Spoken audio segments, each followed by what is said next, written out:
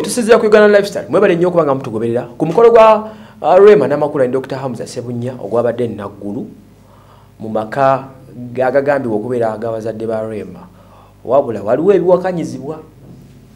Nja babuulira mu maaso eyo. Ebiwakanyizibwa mbu mpaka kano gaali mbu gabadde bapangise anyway that wasn't the issue. Amaka gabadde malungi gabasiza omukolo awaka ekitiibwa.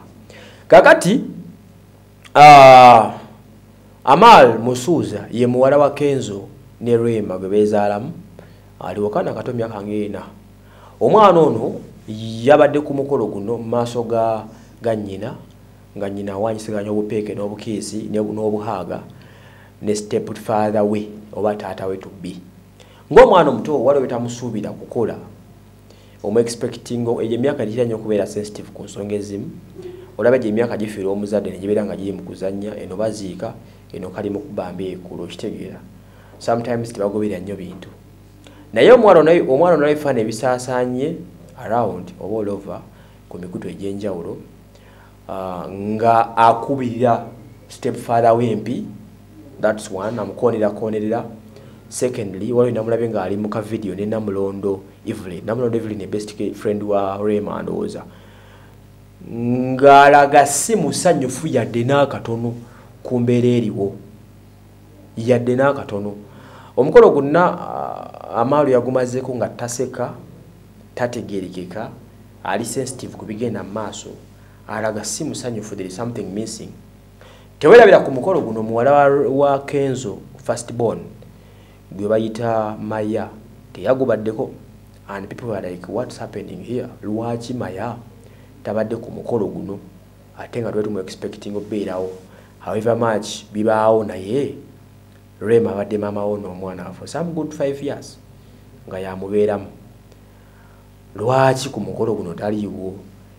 Opinion poll ziyitingana ziraga nti mbuno obutabeera busanyufu omwana ono buyinza okuba buli connected ku ebyo bikwatagana ne maya obutaba ku mukolo guno ndoza nabeera board nga talaba ku sisita we. Bano no baayawulwa kyoba omanya amaalo yasigala wannyina eno gye bali mu bufumbo bupya ate ye maya n'atwalibwa agenda labe ng'afuna obulamu obulala n'ebiddirira ng'ebyo. So omwana ye general teyabadde musanyufu ku mukolo ekireesewo okweralikira mu bantu. Omwana gwe tusobola mulowoleza kiteyabadde musanyufu bw'osanga owendowoozeemu ajja kugamba aye abe talidde bulungi. Omula agambe nti yamune teyamanyira bintu bya mikolo ng'ebyo. Kwe kusalawo n'agawaayi kayeekomomme omula ajja kugamba nti yamune teyabadde musanyufu. Olw'ensonga muto we teyabaddewo mukulu we teyabaddewo. Omula agambe mm, yagenza okulanga mami we omusajja omulala amuhaginga oba amukiisinga. Ebyo bifulumira ku ndowooza z'abantu ab'enjawulo nawe mu baba alabye ekintu bwe kiba kigenze. Are together? So bwe gutyo bwe guli eh, those are some of the things ebya eh, ku mukolo ogwa rema namakula but it was a very colorful party mu butuufu kwabadde kukyalo buli omuntu kuyandiyadde yeegomba akureceiving embulamu bwe. Ate omulodi n'atugamba ah, ebyo just bikyali bitono mulinde nga 14 novemba mujja kakasa dokita muza serunya gynecologist yani mujja kulaba wait a bit. So that is it.